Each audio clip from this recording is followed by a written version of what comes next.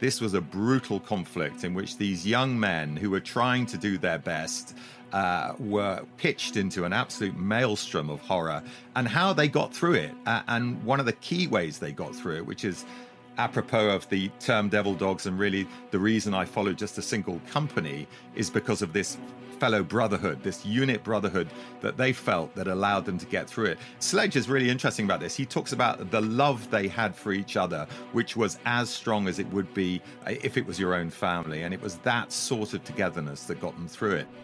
An excerpt from today's guest, who's written a harrowing account of a U.S. Marine unit in the Pacific who were the original Band of Brothers. You can also watch a video podcast excerpt from this episode on our YouTube channel. British author and historian Saul David is here, and I'll speak with him right after this break. I'm Robert Child, and this is Point of the Spear.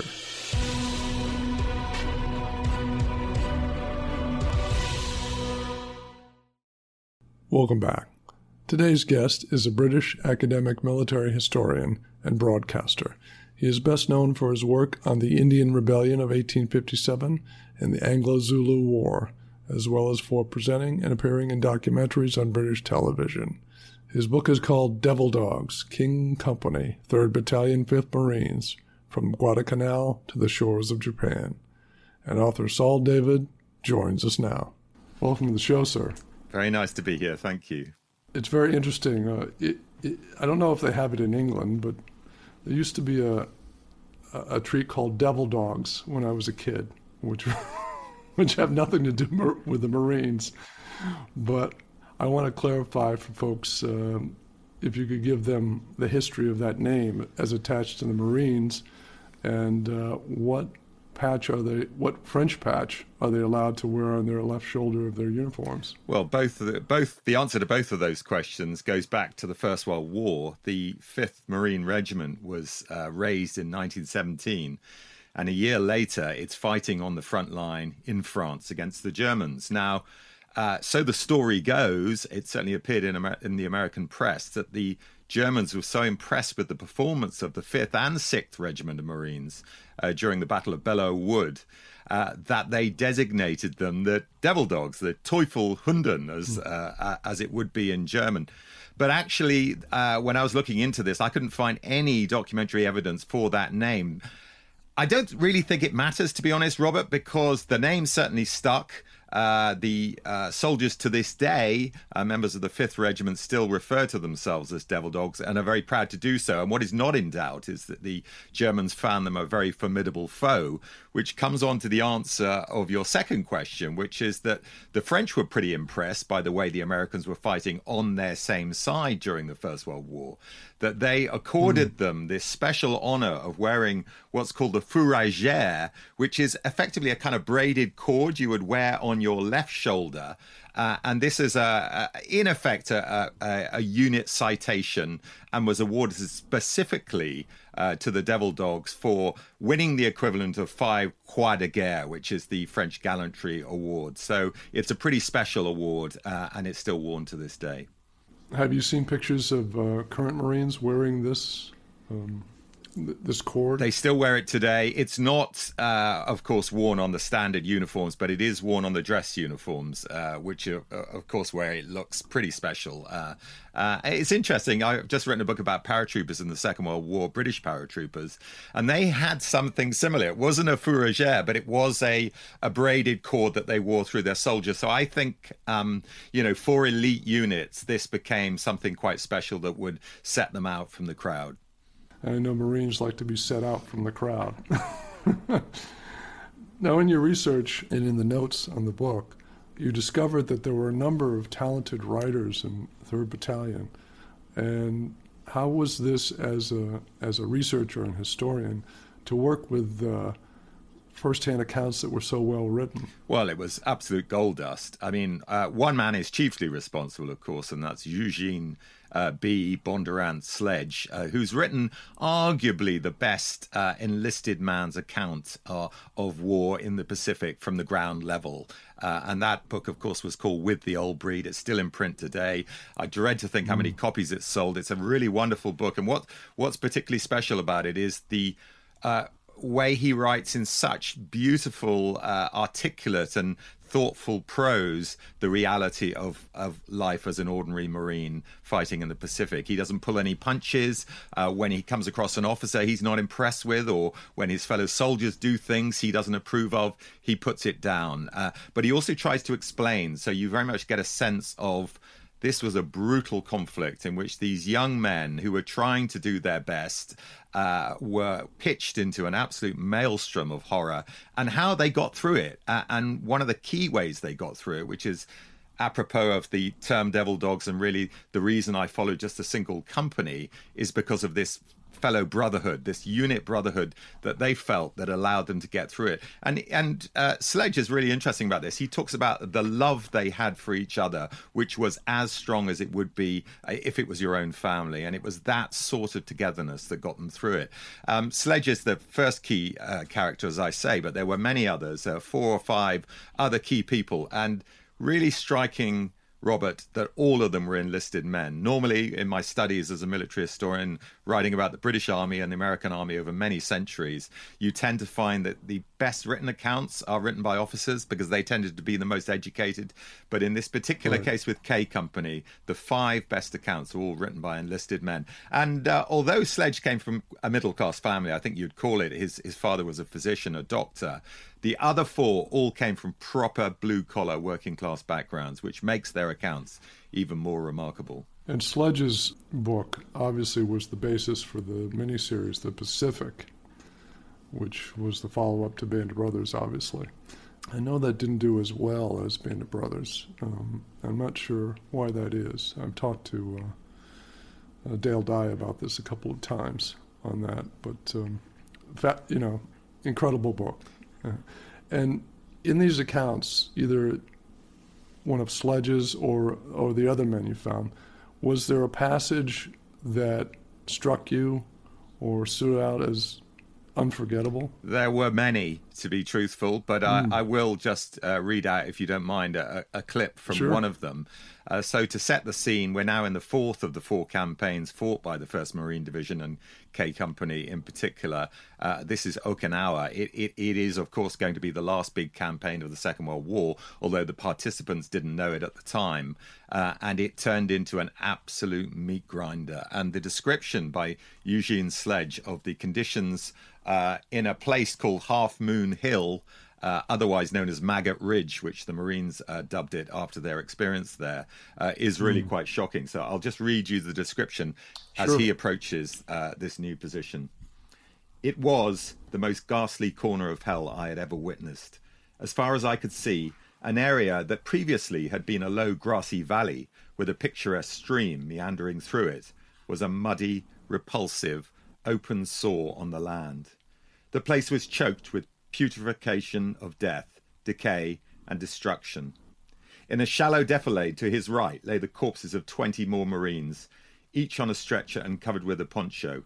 Other bodies lay in shell craters, half submerged in muck and water, rusting weapons still in hand. Swarms of flies hovered around them. A sledge goes on to say, For several feet around every corpse, maggots crawled about in the muck and then were washed away by the runoff of the rain. There wasn't a tree or bush left. All was open country.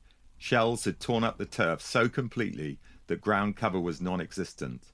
The rain poured down on us as evening approached. The scene was nothing but mud, shell fire, flooded craters with their silent, pathetic, rotting occupants, knocked out tanks and amtracs, and discarded equipment. Utter desolation. Unbelievable. Powerful.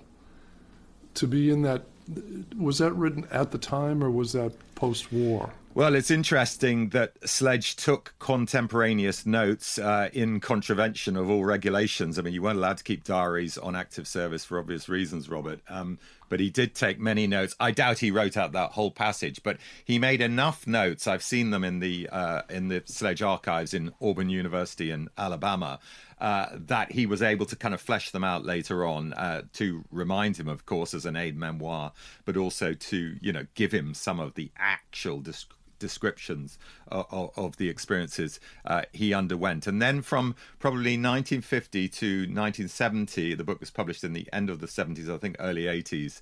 Uh, he began to write it up, and and he actually said uh, years later in various letters that again I've used in the book to kind of finish off the story, what a therapeutic exercise it was for him to relive all of that. You might have thought it would be very traumatic for him, but actually he, he felt right. it was a way of coming to terms with it. And that was the first thing that helped him get over what was quite clearly some severe PTSD uh, you know, he had survivor syndrome. Interestingly, of the K Company veterans, he was one of the very, very few never to be wounded in action, uh, let alone killed. And of course, many of them were. So he felt survivor's guilt, I think, and and the writing of this book enabled him to somehow work it through his system. But he also started going to some of the veterans associations and meeting up with the guys that he hadn't seen uh, for many years, and he found this tremendously uh, uh, uh healing process as well to be able yeah. to talk through with these guys. So I think we learn from all of this that you know some form of decompression, which I know that the U.S. Army and the U.S. Marines do much better today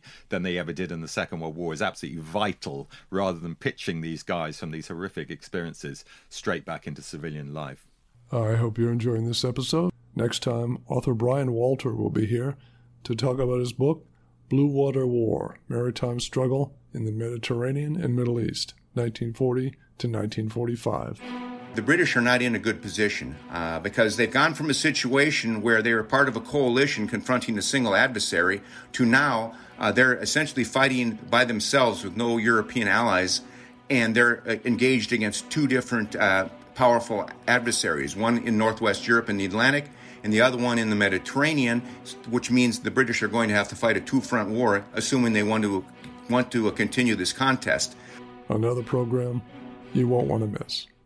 And if you're enjoying this World War II episode, check out our earlier program about Ronald Speirs and his band of brothers with author Jared Frederick.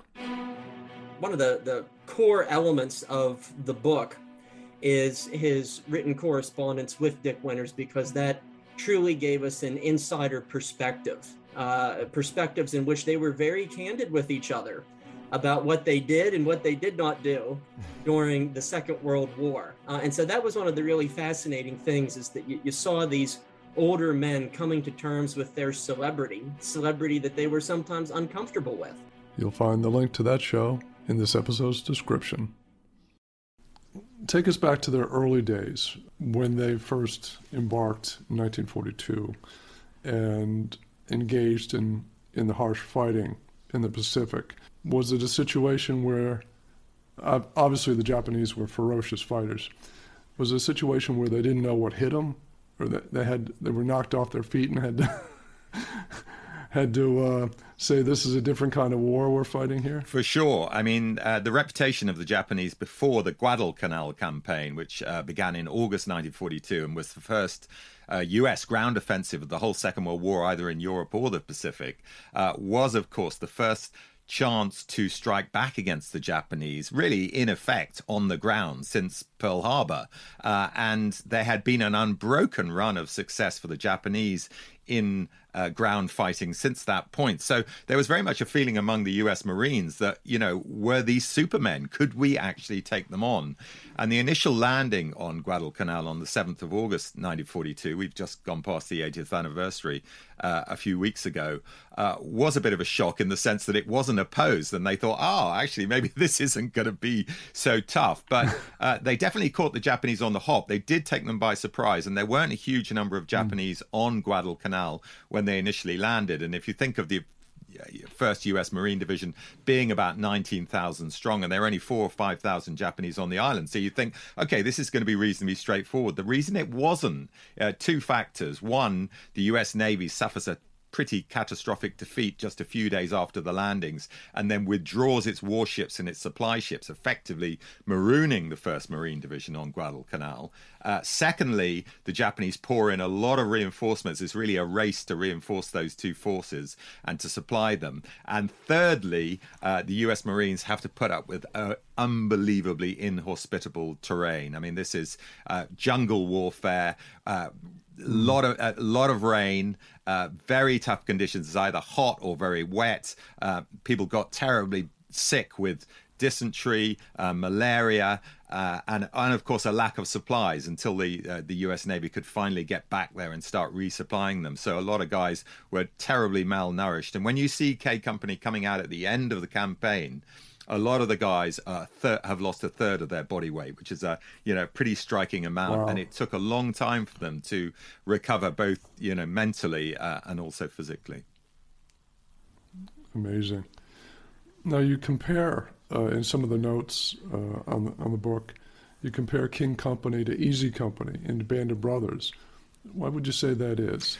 Well, I, I, what, what, I think the, the comparison I was trying to make is that w- one of the ways you can uh, identify or, or, sort of unearth the intimacy of war is by following a small group of men. Um, now, Stephen Ambrose yeah. showed that probably the most effective way to do that was to follow a company, and of course, he followed a company of paratroopers. But I felt, and apropos your point about uh, the Pacific uh, miniseries, that there wasn't a book that had done something similar for uh, the Pacific War. You mentioned Sledge's book. Well, of course, that was a book written by one man, his own personal perspective, and it only covered the last two campaigns because those are the only campaigns Sledge fought in, and they were, of course, Peleliu, which was a pretty grim experience too, and Okinawa. But the uh, First Marine Division story began uh, in Guadalcanal, went on to Cape Gloucester, and then those other two campaigns. And so it was a chance to tell the whole story from start to finish of the US Marines in the Second World War, but also at this intimate level. So that was really the comparison. Band of Brothers uh, showed me how effective it was and how moving it was to follow a small group. And of course, not all of them, uh, Robert, are going to survive. Uh, it's interesting right. the the the uh, the principle of of uh, overseas combat in the Second World War for American troops was that you would generally fight two campaigns and or two years. Very few fought, were supposed to fight in three campaigns, but by the time you get to the end of Cape Gloucester, in, in the case of K Company, they asked a lot of the guys who'd already fought in the first two campaigns to stay on. And so people like uh, Ack-Ack, Haldane, who's this uh, also features in the Pacific, this wonderfully kind of a sensitive but effective officer who was much loved by all the men of K Company, goes on to fight in one more campaign. And of course, anyone who's seen the Pacific will know, uh, you know, the terribly sad way that story ends. And so it was a chance to piece together the whole story. And as um, uh, Eugene Sledge's son Henry writes in the foreword to the book, uh, I filled in for him the missing bit of the story of K Company. Of course, he knows uh, his dad's experience. So, really, that was the point to try and tell a coherent story of the uh, Pacific War through the eyes of a single company of U.S. Marines. What is uh, the reaction of his son been to the book?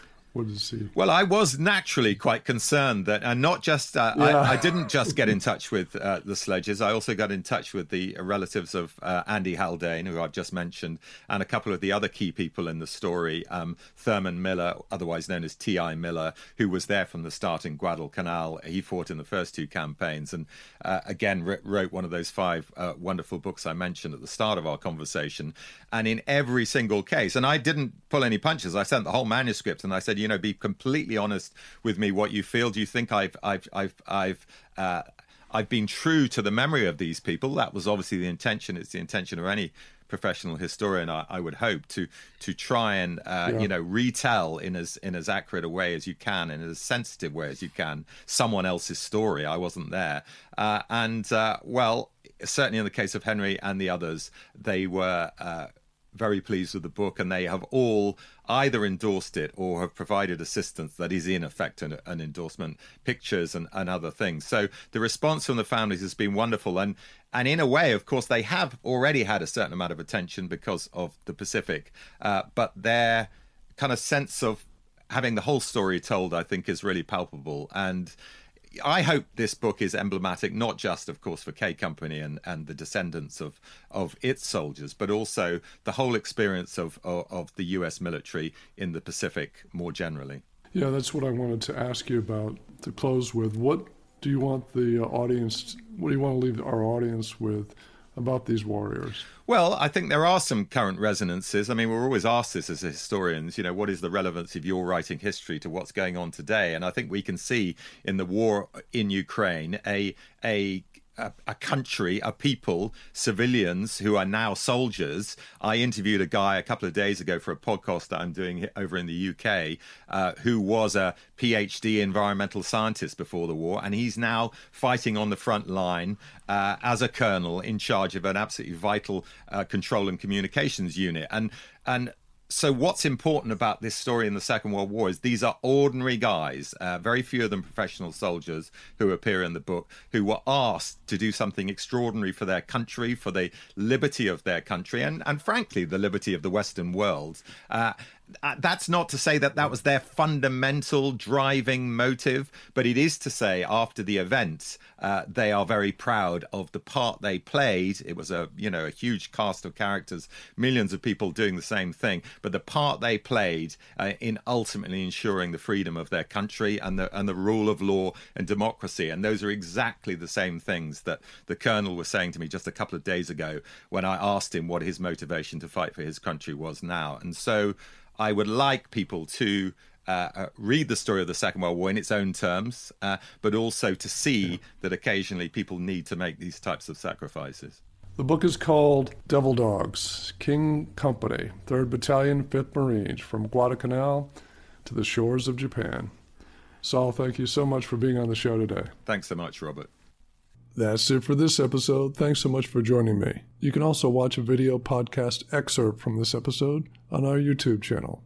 Next time, author Brian Walter will be here to talk about his book, Blue Water War Maritime Struggle in the Mediterranean and Middle East, 1940 to 1945 the British are not in a good position uh, because they've gone from a situation where they were part of a coalition confronting a single adversary to now uh, they're essentially fighting by themselves with no European allies, and they're uh, engaged against two different uh, powerful adversaries one in Northwest Europe and the Atlantic, and the other one in the Mediterranean, which means the British are going to have to fight a two front war, assuming they want to, want to continue this contest.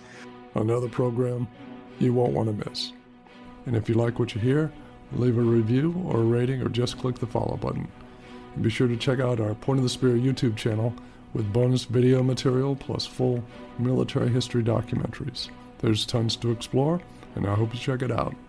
I'm Robert Child, and this has been Point of the Spear. Music licensed from AudioBlocks.com. Point of the Spear is produced by RSC Media Group.